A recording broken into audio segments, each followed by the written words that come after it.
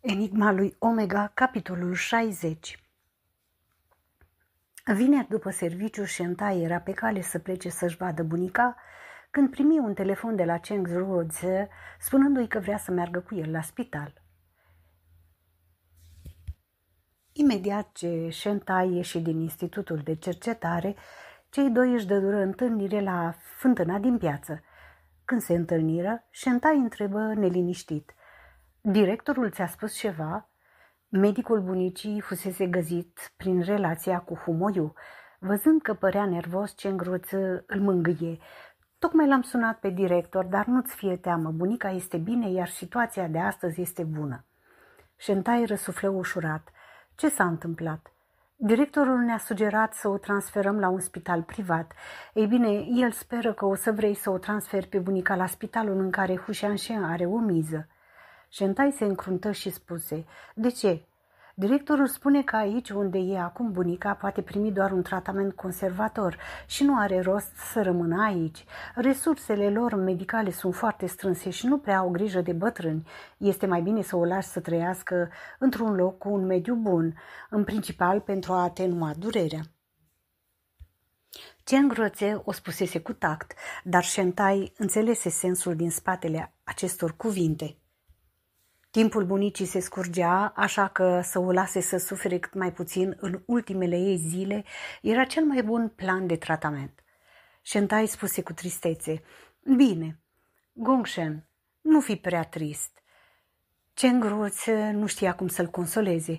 Hai să trecem astăzi prin formalități și să o mutăm pe bunica.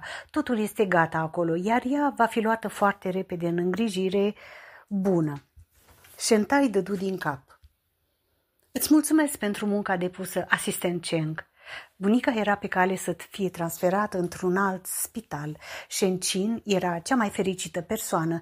Tonul său era simandicos. El se lăudă tuturor că fiul său găsise un enigma bogat și născuse un mic alfa. Șentai nu mai putu asculta și îl îndemnă să plece repede. Trecuse deja de ora nouă seara când o transferă cu succes pe bunica la spitalul lui Humoiu. Șentai era atât de obosit încât se așeză în salon și bău apă, gândindu-se că bunica devenise atât de slabă încât era doar piele și oase. Se simți foarte blocat în inimă. Privindu-i pe cei dragi murind, dar neputând face nimic în privința asta, acest sentiment era ca un cuțit tocit care îți măcina carnea, durea, dar în cele din urmă va fi amorțit. Ce groță veni și se așeză lângă șentai cu sticle de cola. Vino aici, bea una pentru a sărbători transferul de succes al bunicii la spital. Șentai zâmbia amar și dădu noroc cu sticla de plastic. Asistent Cheng, ai muncit atât de mult pentru bunica mea de atâtea ori. Îți sunt foarte recunoscător. O, nu mai spune mulțumesc. Hușan Sheng îmi oferă un salariu foarte mare. Nu îmi pare rău pentru bani, chiar dacă nu muncesc mult. Azi e destul de târziu. Ar trebui să te întorci. Mă voi odihni puțin și apoi plec, dar tu? Nu, voi... Uh... Șentai se gândi apoi la asta și spuse nu nimic, voi veni să-l iau pe Cici la vaccinare mâine, așa că să ne întoarcem azi. Cici vine azi să se vaccineze? Ei bine, a treia injecție de hepatită B. A fost uh, tratat în Lansheng înainte, nu? A fost transferat cazul lui Cici? Ai nevoie să vin mâine? Nu, nu, nu, spuse Șentai grăbit. Este doar o vaccinare, am dosarul lui la mine, pot să-l introduc doar mâine. Chiar nu trebuie să te deranjezi cu asta. Este în regulă. Șentai se duse în salon să-și a rămas bun de la bunica și îi spuse că îl va aduce pe Cici să o vadă mâine. Apoi se duse la recepție să-l găsească pe cingruță. Acesta vorbea cu asistenta. Asistent Chen, ce s-a întâmplat? Asistenta a spus că dosarul lui Cici este aici, dar este criptat. E ciudat. Șentai își aminti ceva. O, Cici a avut febră odată și a stat aici o noapte. Nu am uitat cu de adevărat de asta, dar Humoiu i-a extras în secret sângele lui Cici pentru un test de paternitate în acea zi. Nu vreau să folosesc drepturile de custodie pentru a-l amenința. Văd, atunci va fi ușor mâine.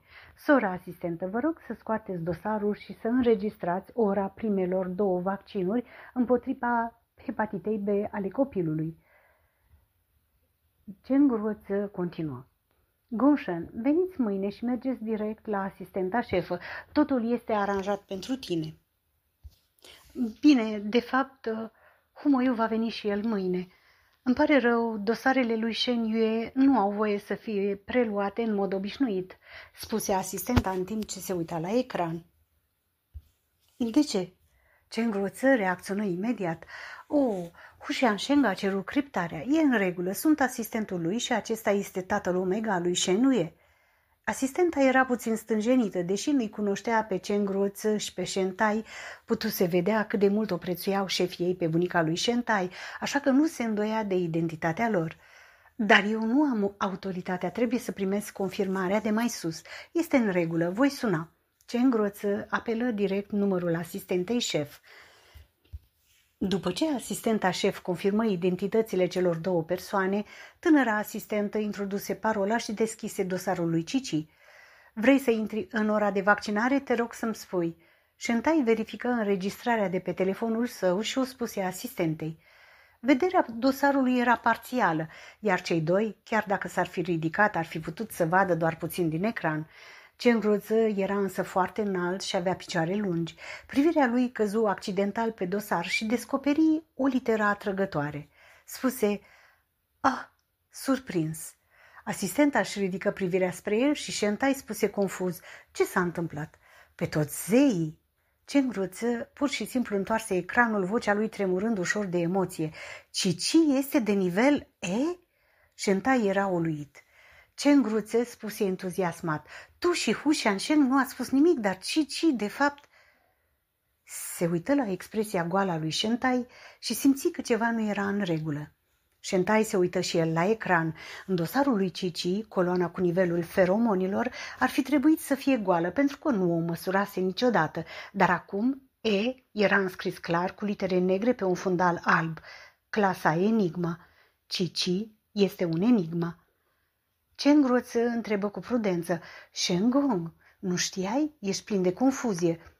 Cum ar putea un tată omega să nu cunoască nivelul de feromone al copilului său, chiar dacă nu îl testase înainte? Nu era mare lucru, era un eveniment foarte fericit, dar reacția lui Shenta era cu adevărat de neînțeles pentru el. Multe sunete și imagini confuze inundară mintea lui Shentai iar nenumărate emoții blocară sistemul nervos în toate direcțiile, făcându-l să nu mai poată să gândească. Copilul lui se dovedea a fi un enigma, ceea ce pentru oricine ar fi fost la fel ca cineva care câștigase la loterie, dar el, el nu simțea nicio bucurie. Primul lucru care îi veni în minte fu, văd mai bine. Avea în sfârșit o explicație pentru toată atenția și lingușirea lui Humoiu pentru Cici. Avea în sfârșit o explicație pentru faptul că Humoiu voia să încalce chiar principiul vieții matrimoniale și să riște monopolul drepturilor de reproducere.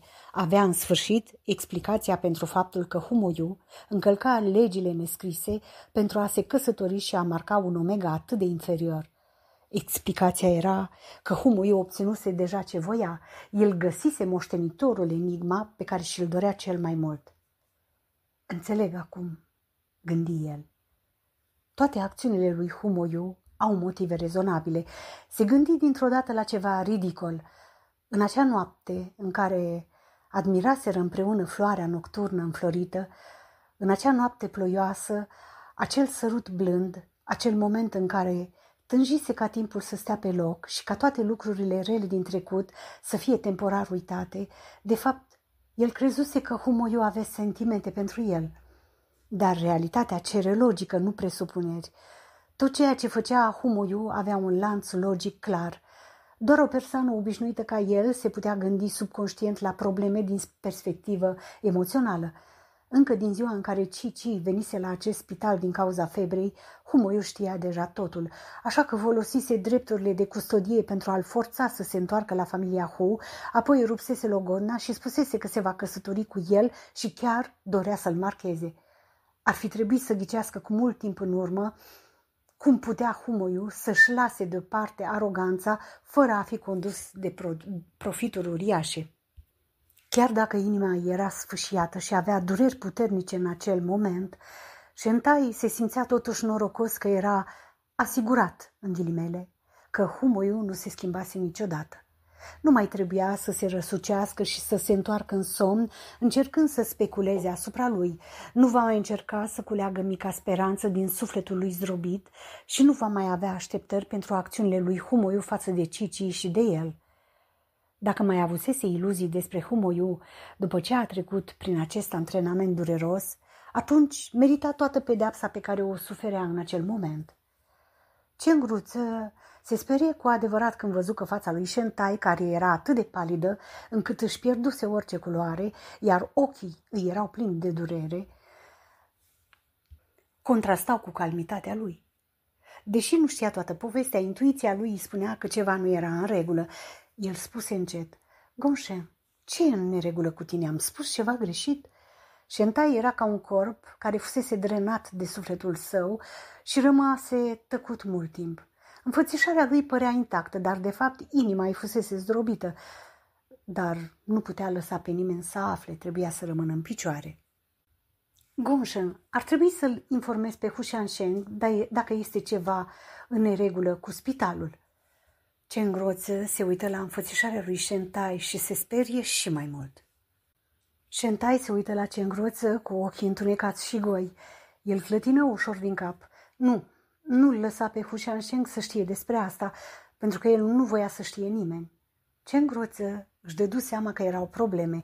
Inspira adânc și se uită la asistentă.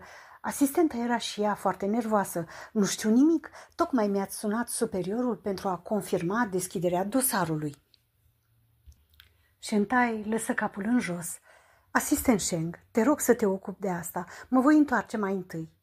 După ce spuse asta, se întoarse și plecă fără să aștepte un răspuns. Trebuia să plece repede înainte să se prăbușească emoțional.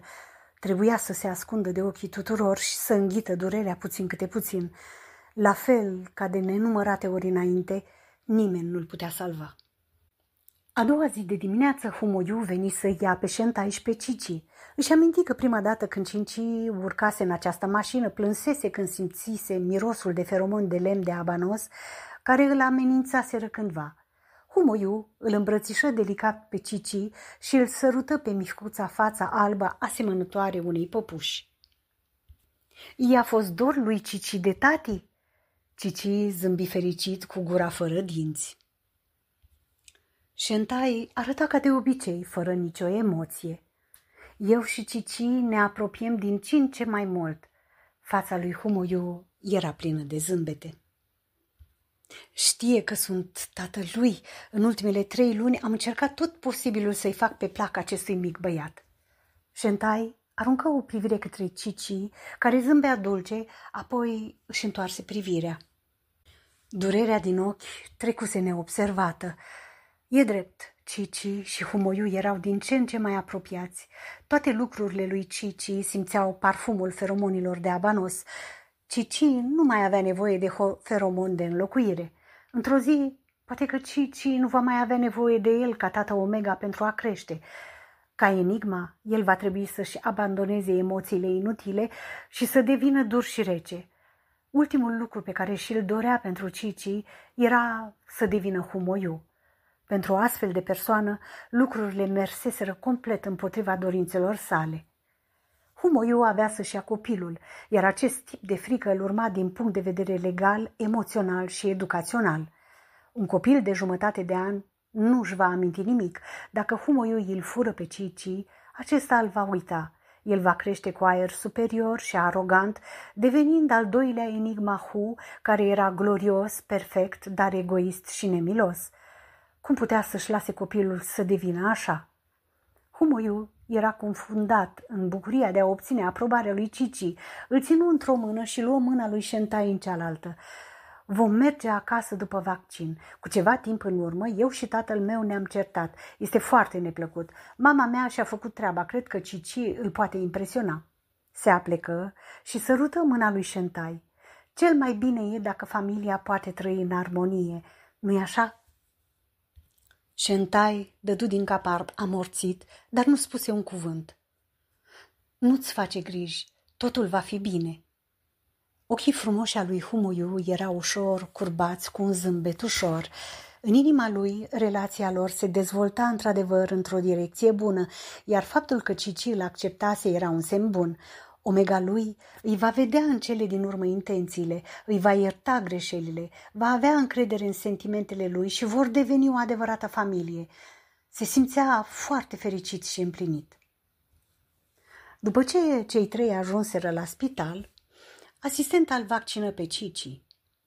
Simțul olfactiv al lui Cici era extrem de intens, iar amintirile proaste erau declanșate de îndată ce simțea mirosul dezinfectantului. În trecut plângea mereu din momentul în care intra în spital până pleca, dar de data aceasta fu ținut de humoiu, brațele agățate de pieptul lui Enigma, sprâncenele lui ridicate, era aproape îndoit ca o râmă, dar nu plânse, nici măcar în momentul în care fu introdusă injecția.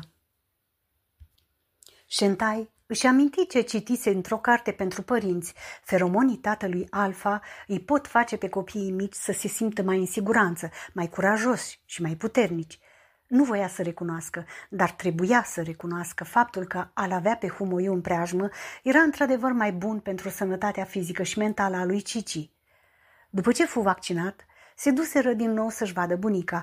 Singura persoană care avea grijă de ea fusese asistenta. Se spunea că Shenchin ieșise dimineața de vreme, dar era deja obișnuit uh, cu lipsa de încredere față de Shenchin.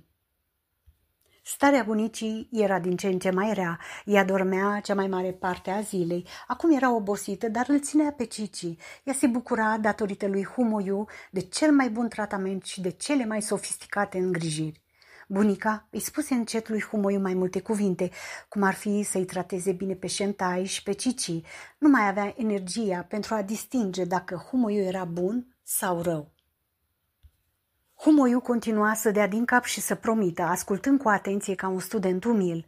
În impresia lui Shentai, Humoiu nu fusese niciodată atât de răbdător cu părinții săi. El privea în liniște cu o tristețe densă în inimă. Da, Humoiul va trata pe Cici bine, așa cum a promis, și îi va oferi într-un anumit sens sprijinul generos. Oricine va vedea acest complot absurd nu va face decât să-l felicite pentru că mama este mai valoroasă decât fiul. Nimeni nu putea înțelege disperarea din inima lui. După ce luară prânzul cu bunica, părăsiră spitalul. În mașină, humoiul mângâie cu blândețe pe șentai. Cel puțin, dacă iau un tratament mai blând, bunica nu va suferi prea multă durere. Șentai dădu din cap. Sunt pregătit mental. Voi fi alături de tine pentru totdeauna. Humoiu apucă din nou mâna lui Șentai. Pentru toată viața. Șentai nu apucă mâna caldă și puternică, dar nici nu și-o retrase. Astfel putea continua să se prefacă așa, că nu știe nimic și fără a-l expune pe Humoiu. Trebuia să coopereze cu spectacolul acestei familii fericite, în ghilimele, astfel încât toată lumea, cu excepția lui, să fie mulțumită. Acesta era cel mai bun lucru pentru Cici, nu? Nu avea niciun răspuns și nu avea niciun plan. Își tăra de multă vreme trupul obosit și dureros, dar tot nu putea vedea lumina. Sfârșitul capitolului 60